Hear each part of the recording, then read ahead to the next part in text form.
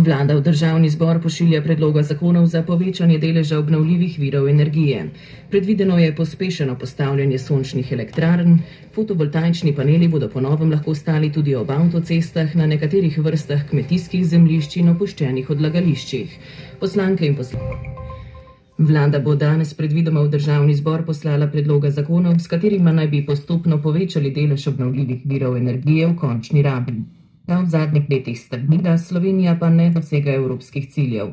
Sprejemom zakonov je pogojeno tudi črpanje evropskih sredstev. Tako naj bi pospešili postopke in omogočili postavljanje zlasti sončnih elektrarn tam, kjer to doslej ni bilo mogoče, ter zagotovili osnove za postavitev mreže polnilnic za vozila, ki jih poganjajo elektrika, vodik in plin. Ernest Trniša. Zakon o umeščanju obnovljivih virov, ki so ga pripravili na Ministrstvu za okolje, podnebje in energijo, je bil daljši čas v javni obravnavi in medresorskem usklajevanju in deležen številnih popravkov. Bistvo ostajajo prednostna območja za postavitev naprav, nekatera med njimi bodo tudi predpisana, denimo strehe večjih objektov in večja parkirišča za fotovoltaiko. Minister Bojan Kumar priznava, da zakon za ostanka pri ciljih ne bo rešil čez noč. Gre za prvi korak.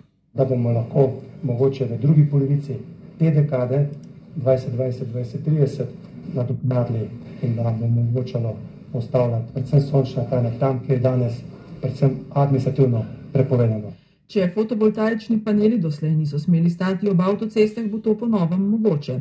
Prav tako na premogovniških jezerih in na nekaterih vrstah kmetijskih zemljišč, na vodniških območjih in opuščenih odlagališčih. Postopki bodo deloma poenostavljeni.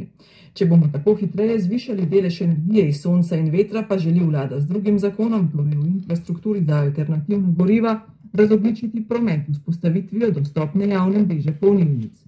Naloga izgradnje polnilnih parkov večjih moči bo pripadla ELES-u. Vajamo tudi gospodarsko javno službo, ELES za zgradnjo infrastrukture in pa polnilnih mest, hkrati pa bo Borzem, ki ima danes center za podpore za subvencije iz električne energije, tudi postal center za spodbujanje prehoda na alternativna goriva.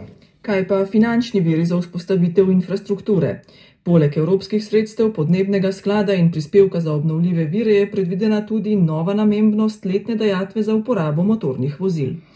Vlada med drugim načrtuje novo. Raste in da se s tem povečuje tudi potreba po izgradnji primerne infrastrukture.